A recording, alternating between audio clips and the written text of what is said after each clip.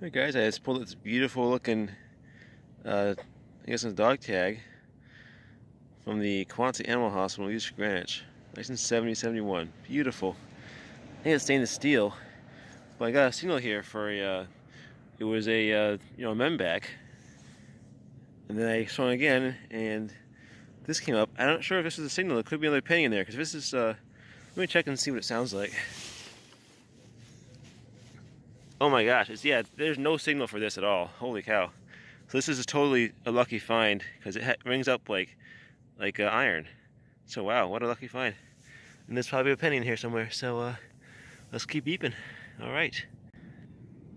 All right, nothing special here, but this is uh, wheat penny number seven. Seven wheats out of this one hole.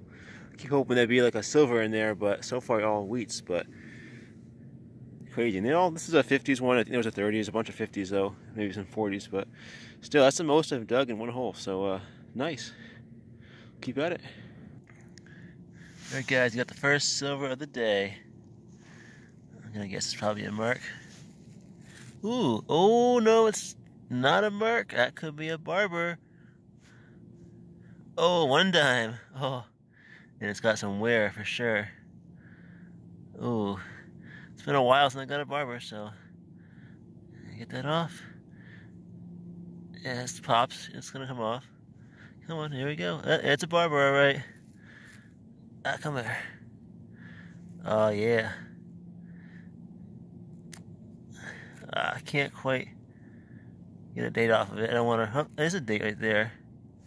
I got a. Nope, that's not the date. All right, I'm gonna come back and maybe carefully clean this off with some water. Sweet barber time. Awesome. That's silver number 98 of the year. Alright guys, got it all cleaned off. Beautiful 1905. And it's actually a special first for me because I turned it over and it's an S. It's my first barber dime with a mint mark.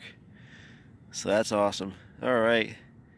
That's that's a nice way to end out the year. I mean, I got a few more days of hunting, but year's almost over, so nice. Hey guys, right next to that silver, I got another signal, that was a little shallower, I got some weird stuff going on here. There are two coins or tokens, I think they're probably tokens stuck together, and I, can I get them apart? No, they're stuck pretty good. So I'll have to pry them apart when I get home, see if they're writing on them, but interesting, they got, see the set got um, sided edges. So, very unusual. Alright, I hit this field pretty hard and I'm still turning up lots of stuff, so that's a good signal. Good sign, I mean. On we go. Alright guys, had an iffy but deep signal. And look at there. We got silver number 99 for the year and it's beautiful Washington quarter. I'll wipe it because it's just a Washington, but 42?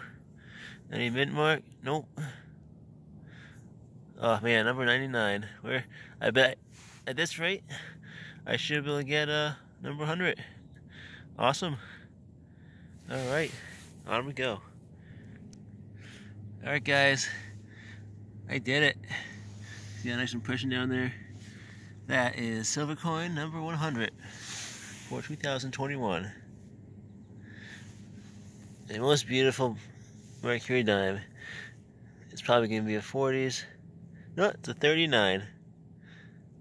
Nice. Alright. I did not think I'd get close 200 this year, honestly. Um, my goal for the year was one per week, so 52, and I uh, almost doubled that. So, alright, mission accomplished. Okay. Well, I won't stop now. Got lots of daylight left and a lot of fields, so uh, we'll keep at it. Yeah. Alright, first Indian out of the main field. I had pulled one out of a hillside nearby. This is the first one in down in the low field and uh, a little crusty, but she'll clean up just fine. Okay, I did, I missed a. Uh, I didn't show you guys at my 101st silver, a war nickel. So uh, yeah, we're still going strong. All right. Alright, we got ourselves a beautiful buffalo, but unfortunately, the back is great. That means the front is not so great. So we probably won't get a date off there, but at least the back looks immaculate. You can read everything, so that's that's nice. All right, first buffalo today. On we go. Alright guys, this looks like silver number two. Nice Merc. Has a little wear to it, so it should be an older one. Actually, it's the dates right there. Oh, 1920. I find, you know, most detectors, all 1940s Mercs 9 out of 10 times, and then the other ones are, they're not as, a whole lot rare, but they're still, you just don't find them as often, so. Nice early one. Sweet. Alright, we got some unexpected silver. Looks like a Catholic charm. It's probably Jesus on that side. And Mary on that side. Very nice. Yep, I see uh, right there, you can see Sterling stands on it. Beautiful. Alright, I don't want to rub it up too much in the field, but nice silver. Alright. Alright guys, let's close up that hole with the uh, Catholic charm. I think it's a two-piece. That's definitely a two-piece silver charm because I got the little cross here. Oh, very nice.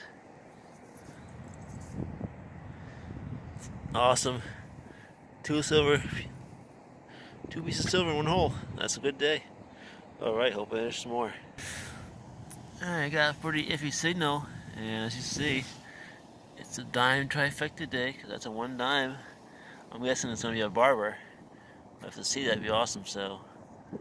There she is, barber. Oh, 1900. Nice, I like that date. She's worn, but hey, we'll never complain about finding a barber dime. Awesome, so I got, first silver was a Rosie, then a Merc, and a Barber, so at this rate, maybe I'll get seed by the end of the day. Sweet. Alright guys, I'm out on a nice rainy day. There's a little break in the uh, in the rain and I drove by this pond which you can see is really far out. And I've been finding you know a bunch of change and uh, two wheats and then I saw this. Looks like a silver chain and it might have something on it so uh, oh yes I think it does. Yep. It's got, looks like Jesus or something. It's copper, but it's stained silver. And it says, uh, can't quite read it, but still, look at that. What a beautiful find. Awesome. That's what I'm looking for.